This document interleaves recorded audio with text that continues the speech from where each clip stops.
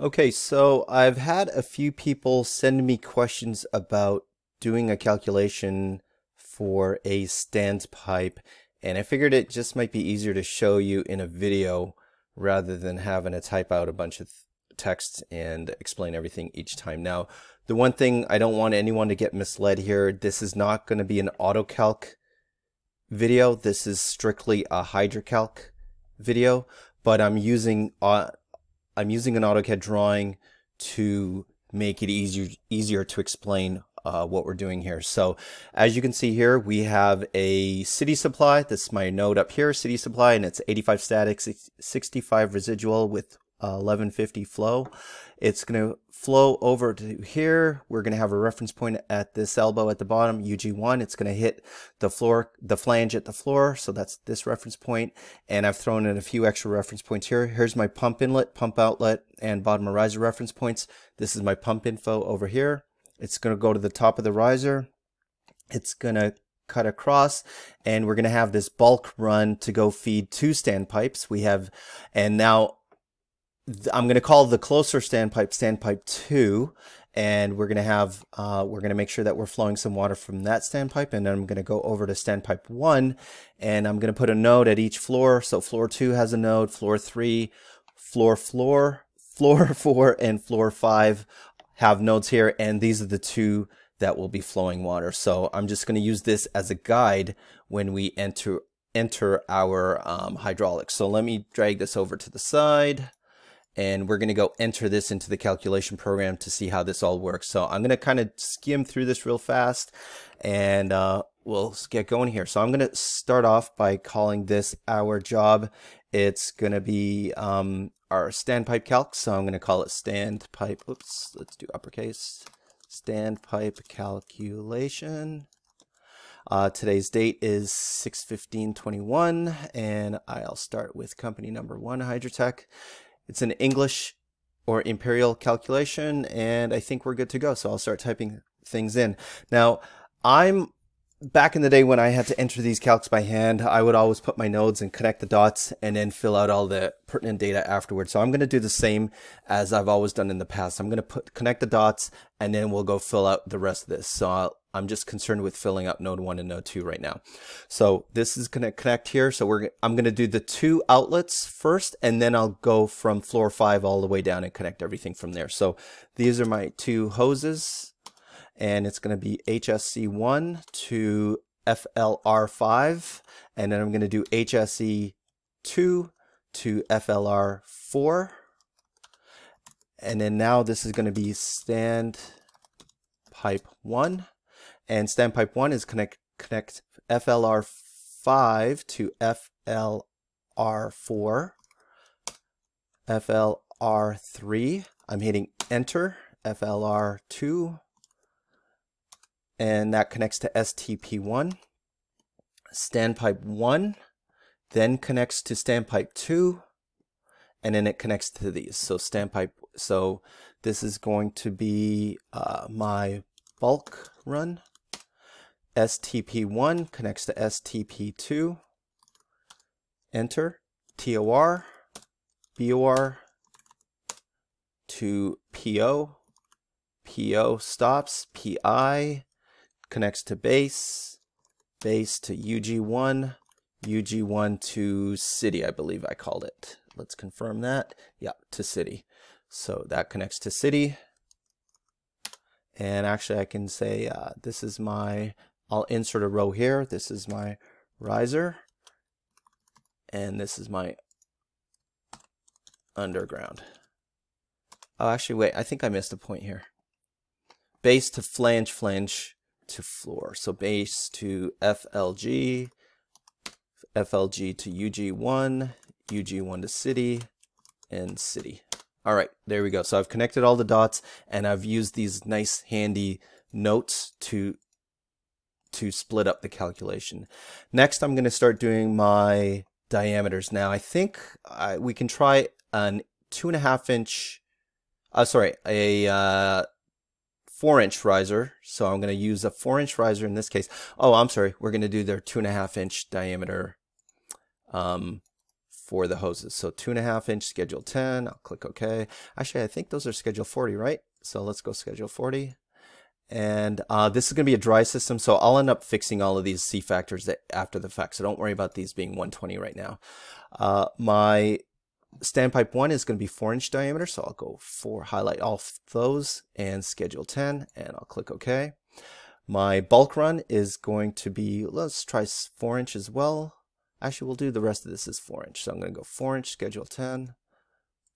4 inch, actually do here 4 inch schedule 10 and 4 inch schedule 10 and then this is going to be 4 inch base to flange. And this is going to be I'll uh, control C control V and then these ones will be blue brute. So I'll go 4 inch blue brute. And there we go Okay, so now we've taken care of all of our pipe types. Uh, just because I'm going to do a save as real quick, so I'm going to call this my standpipe calculation video.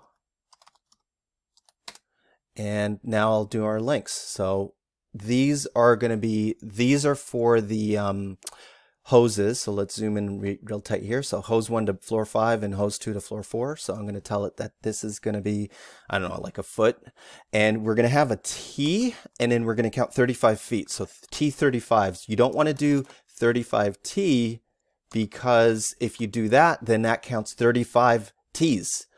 If you do T35, you're going to tell it that you have um, one T and 35 feet worth of equivalent length of pipe. So that's why we're doing it T35, not 35T.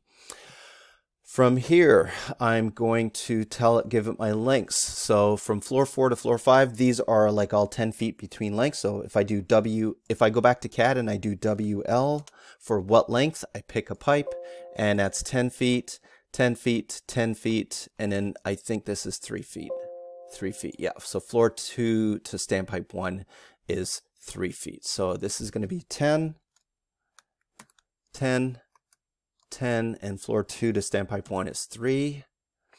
And we don't have any fittings until we get to this point here. So we're going to throw in a T at that point right there.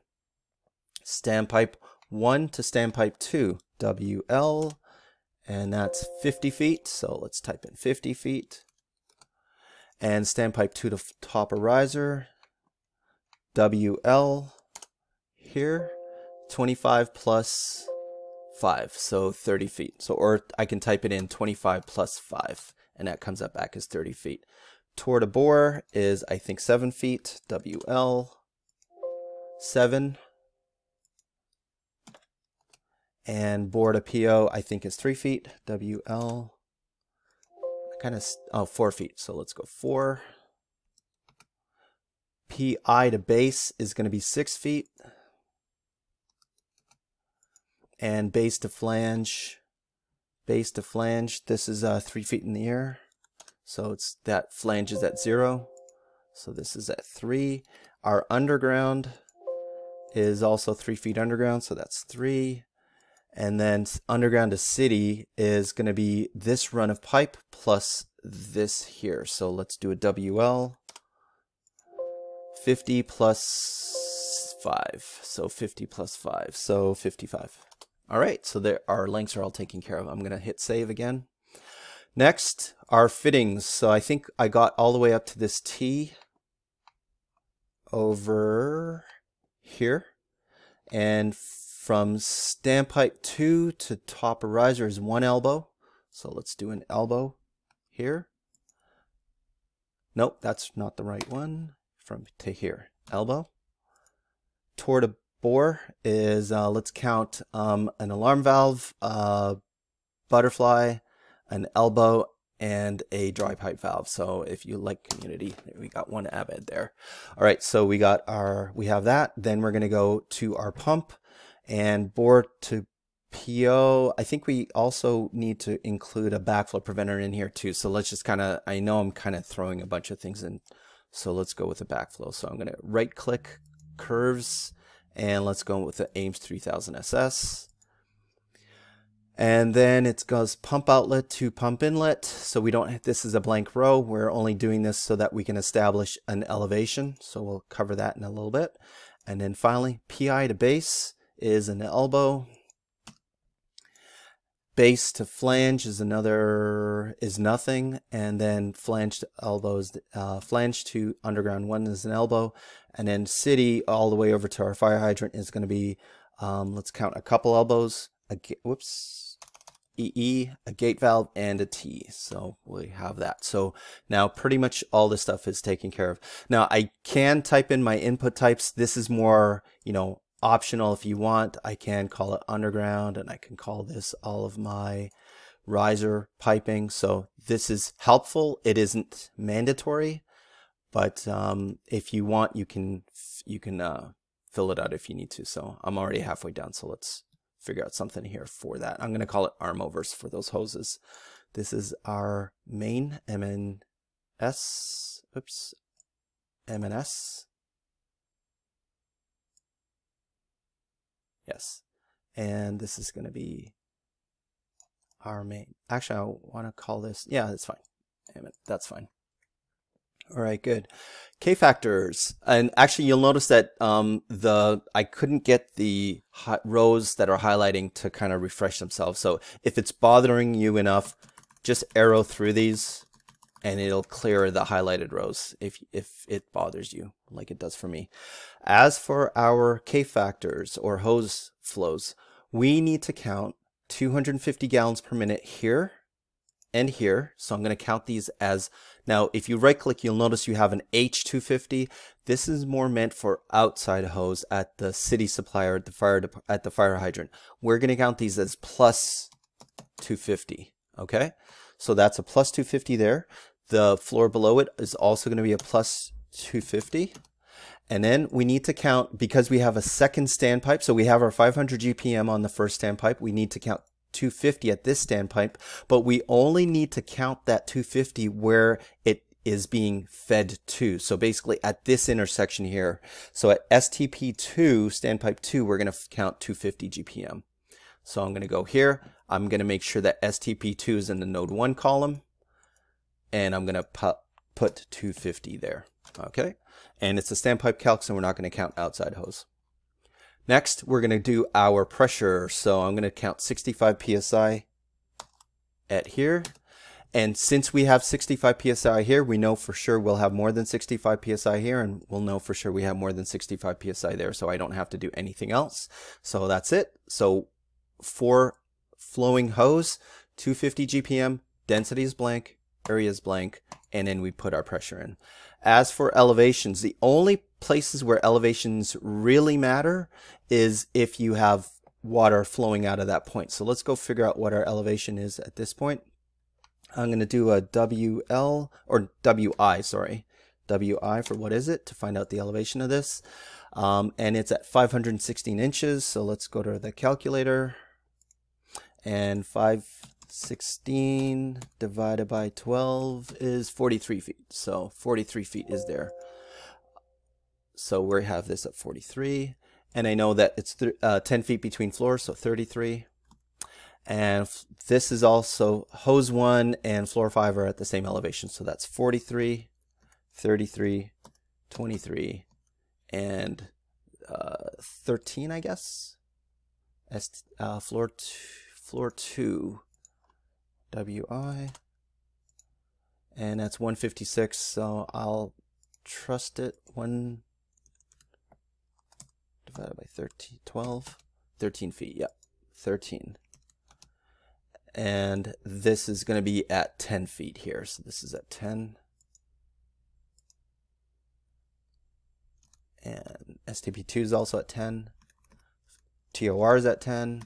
Bore is at 3 feet. PO is at 3 feet. And PI is at 3 feet. Base is at 3 feet. Let's confirm that. Flange is at 0 feet, and UG1 is at negative 3 feet, and city is at, uh, I counted, how many feet did I count?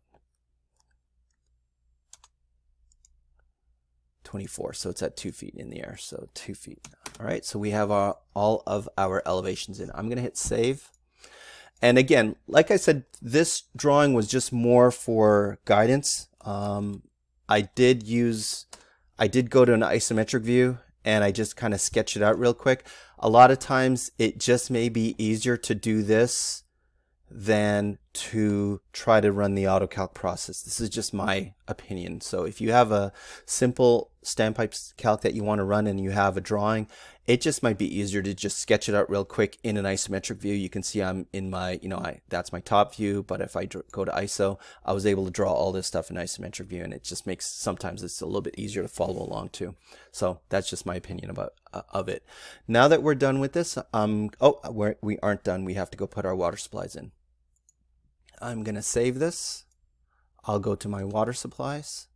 I will tell it I have a city. Static is 85. Tab 65. Tab 1150. Tab, tab, tab, tab, tab, tab, tab. And spacebar or click OK. Connection point is called city. And the elevation is at 2 feet. And I will tell it now I have supply number 2. Let's go take a look at that. So supply 2 is I'll edit my pump. And this is 75 tab 750 at 120 so I'm tabbing all the way across here. You'll notice these values are all zeros so I have to populate this box by hitting make NFPA curve. So now it's now filled out these boxes here. I can click OK. And now my connection point is still city. My inlet is PI and my outlet is PO and my elevation was at 3 feet and I'll click OK. And there we go. We have our calculation done. We don't need the drawing anymore, so let's just pull that out here. And I'm going to save it, and I'll run my calculation. I'm missing CFAC. Ah. You said you were going to take care of it, and you didn't. So I forgot all my C, or I'm, I guess I'm missing some C factors. So let's take care of those real quick. I'm going to First off, it was going to be a dry system. So let's change these 120s to 100s. So I'm going to hit find and 120 will be replaced with 100. And I'm going to change it all the way over to my um, my top riser, I guess, up to about here. So I'll, I can hit replace and replace, replace, replace. So I can keep clicking until I get to where I need it to go and that's it. So I'll click exit and I will save it again. Now it said I was missing a, a C factor or a K factor. Let's see what's happening. Oh, I know what I did. I forgot to tell it what my source point or my flowing head was and I forgot to tell it what my connection point was. So I'll go back here. Missing C factor, base to flange. Base to flange is missing a C factor. Oh, right here. So let's tell that that's 120 and let's try to run the calculation. There we go. Now I can tell it my remote point is HSC1 and my source point is city and we're good to go. Click OK. And uh, I think, so the system flow demand of 750 exceeds the maximum rated flow of 750 indicated in the loss curve. So what that's telling us is, and this was totally unintended, it's telling us that that 4 inch Ames 3000 SS is not rated to more than 750 GPM. So I'm going to click OK here and either there's a couple different things you can do. If you know what the loss curve is, and I tell this to a lot of people because what's happening is even though we are flowing 750 GPM and even though the backflow is rated for 750 GPM, because of the churn percentage, it's rated to flow more than 750. So the possibility of it flowing 750 is likely. That's why you're getting that warning. So this is what I'll do here. I'm going to go to alter pipe and fittings. Let's go confirm that that backflow is really 750. So I'll scroll down and I'm looking for L, uh, units of English or imperial, imperial units or E. The type is going to be a curve. And I probably could have just dragged the cursor all the way to the bottom like I'll do now. And we'll go find a ZAF. So ZAF right here. Here's my Ames 3000 SS.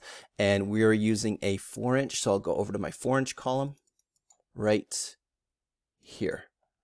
And yep, that backflow is rated for exactly 750 GPM. But, and even though we're only flowing 750, it should work. But because the pump's churn percentage, we have to count another 50% more. So that would be like 11, 1150 or something like that, somewhere around there. Here's the way around it. I can look at this chart and see that, okay, well at 750 GPM, this backflow is, is going to be causing about 10, let's say about 10 PSI friction loss. So I can replace that ZAF with the 10 PSI. So I'm going to cancel this. I'll exit out of this. And instead of using a ZAF here, I can just tell it I'm losing 10 PSI, so or 10 pounds. So 10 and hashtag or pound sign. So 10 pounds is an alternative. Now I'll click OK to calculate it. And there we go. It's run the calculation through. It's flowing 750 GPM. We require 68.6 PSI. I have a 7.33 safety margin, so that covers my 5 PSI minimum. And I'm at 9.7 PSI under the uh, percent under the water supply curve. So again, um, hopefully this is enough. If you have issues or you realize you need more as a more of a safety margin, you can bump up some of your diameters or whatever you need to to get it to work. But there we go. That's how you do a standpipe calculation from scratch. I hope this has helped. If you have any other questions, you can get in touch with me. George at hydrocad.com is my email address, and I'll probably throw that up in the link here. Thank you. Hey guys, I just realized I totally forgot to show you something that I meant to show you in the original video, so I'm just going to do this supplemental video after the fact to uh, make sure I cover that. When I was setting up these reference points, I included floor 3, floor 2, and standpipe 1 in my calculation, and that was not necessarily just to break it up, which obviously helps because it, you know, to be able to see pressures at each broken point is is useful. But I could have gone from floor floor floor four reference point all the way straight back to this reference point standpipe 2, which I didn't. I threw these extra nodes in here again so that I could break it up here. And the reason I did that is because, especially recently, I've gotten a rash of questions about floor control valves, which I'll still point you to the blog to read up on first before you um, check in with me. But by putting these extra reference points, you're forcing the program to give you a reset or uh, the value at that location. For instance, let me run the calculation again. So I'll hit calculate. I'll click OK. Click OK to that.